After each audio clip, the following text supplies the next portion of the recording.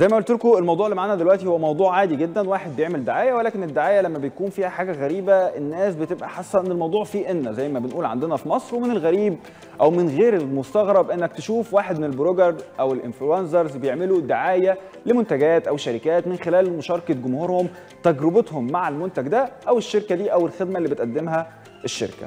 أحد ال bloggers المشهورة على إنستجرام هي مي إبراهيم.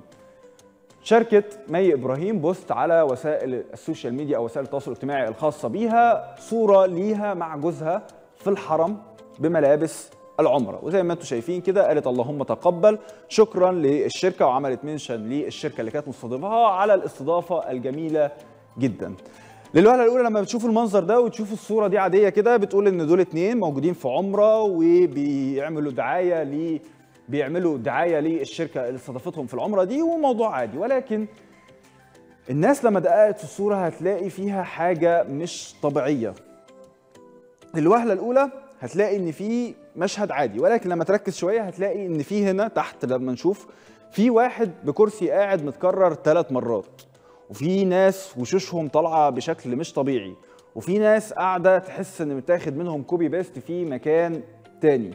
الملاحظات دي علق عليها الناس هتلاقي إن متكرر ثلاث مرات في شخص متكرر ثلاث مرات وسيده قاعدة وماسكة تليفونها وظهرها للكعبة في حين المفروض إنها بتكون بتبص للكعبة عشان بتدعي. فالصورة غير منطقية. ودي ملاحظات علق عليها رواد مواقع التواصل الاجتماعي فمنهم بيبو ستور اللي قال الصورة دي فيها حاجة غلط هو الناس وراكم متكررة وفيها حاجة غريبة. تعليق تاني من آية عاطف كانت بتقول في واحد متكرر ثلاث مرات وفي واحد قدام الكعبة من غير رأس وفي واحد أو في رجل لوحدها. الصورة غريبة جدا. ونتمنى ما تكونش فوتوشوب ودعاية للفندق هتبقى صعبة جدا. شيمو كانت بتقول في حاجة غريبة مريبة في الصورة دي. الناس اللي على اليمين هي هي نفس الناس اللي على الشمال. توأم ولا نسخة مستنسخة أو ناس مستنسخة. في حاجة غريبة بس مش بتريق ولا بقصد حاجة بتعليقي بس مش عارفة هم قاعدين إزاي كل حاجة في شكلهم بالظهر ده. بعض كده آه، آه، زي بعض كده مرعبة قوي. مها برضو قالت هي الناس دي فوتوشوب ولا أنتوا اللي فوتوشوب؟ في مجموعة برضو من رواد ال social media اتريقوا وسخروا من صورة من الصورة دي زي إبراهيم عماد اللي قال يا عم دي ثلاثة إخوات توأم ما تظلمش.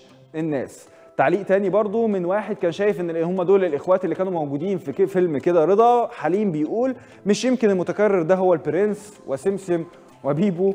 وبعد ما شفنا التعليقات دي وبعد ما رواد ال social media بدأوا يتداولوا الملاحظات دي مي إبراهيم مسحت الصور تماما من حساباتها وده اللي خلى جزء من رواد ال social media يبدأوا إن هم يهاجموها بشدة. زي حبيبة اللي اتهمت مي بالنفاق والكذب وقالت إزاي تبقى منافق ومدعي وتكسب فلوس من الهوا في خمس دقائق blogger مشهورة اسمها مي إبراهيم من الناس اللي الهلس مسكهم أو مسكهم فلوس من الميديا وبعدين عاشت حياتها إعلانات. آخر افتكاسة إنها نزلت أو نزلت صورة إعلان لشركة إنها استضافتهم في عمرة عشان طبعا الفلوس. وطلعت الصورة فوتوشوب ب 2 جنيه أو بجنيه ونص لدرجة إن في راجل متكرر ثلاث مرات. قالت في الآخر نحن من نصنع من الحمقى مشاهير.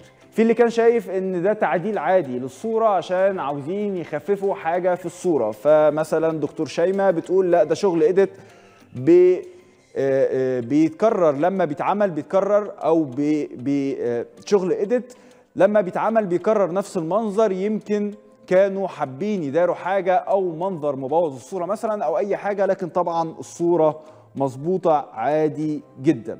بسنت سعيد برضو قالت دي blogger اسمها مي إبراهيم نزلت الناس اللي تعرفها أو ما تعرفهاش راحت عملت عمرة مع آه، راحت عملت عمرة مع جوزها.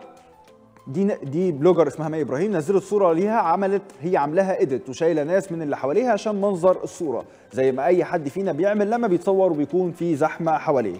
الناس تسكت؟ لا. عيب. بهدلوها وبتهموها إن هي ما راحتش أصلا وإن آه، ما راحتش أصلا العمرة إن هي fake هي وجوزها. ويا جماعة أنتوا بتعملوا كده ليه؟ بجد يعني فين المشكلة؟ في إن الواحد يعمل edit بتحبها أو ما بتحبهاش بتتابعها أو لأ ده عمره ما يديك الحق إنك تقول حاجة مش فيها ولا تتهمها بالكذب.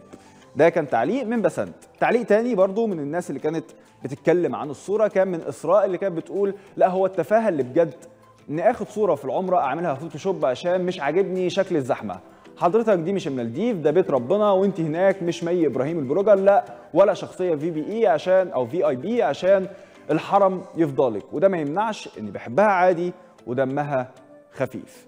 مي إبراهيم بقى كانت بتتعامل مع الهجوم ده بسخرية وبتتعامل مع الموضوع بسخرية وردت على بعض الناس اللي بعتوا لها رسائل من الرسائل اللي كانت موجودة ليها أو جات لها في الإنبوكس بتاعتها واحد كان بيتهمها إن الصورة دي متغيرة.